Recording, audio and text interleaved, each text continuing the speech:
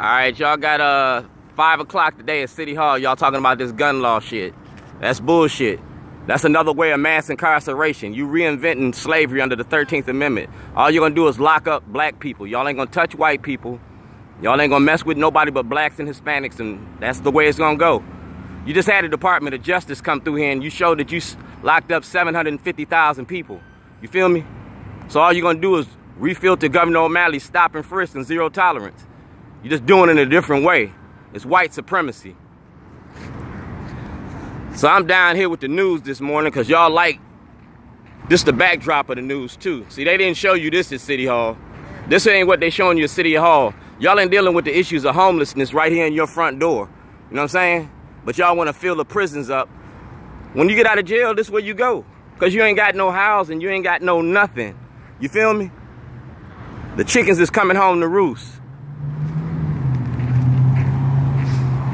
Now you can go to, I ain't gonna shut y'all down today. I'm gonna give y'all a break because I'm gonna get my message out. I'm part of the Baltimore Bloc, one of the founding members of the Baltimore Bloc. We fight against police brutality, corruption. We stand up for prisoners' rights. We stand up for homelessness. We do the things in the community. We're a grassroots movement. All right? The store on Falls Road was called Shorty's Underground. All right, Shorty's Underground.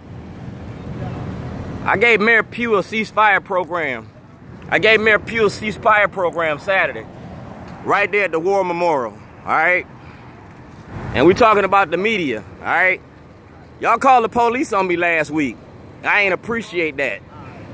What's up, man? What's up, man? What's up, Omar? What's up, Shorty? How are you? We good, right? Yeah, yeah, what's up? I don't know. Somebody called the police on me last week. Not us. Oh, well, you was there. You was there. I gave you the letter to Governor Hogan, right? The email of Governor Hogan, right? So I went one step further here.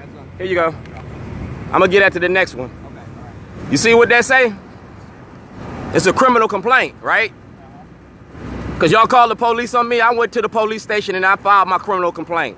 So all the material that I gave you, I'm gonna subpoena you to turn it over to the police.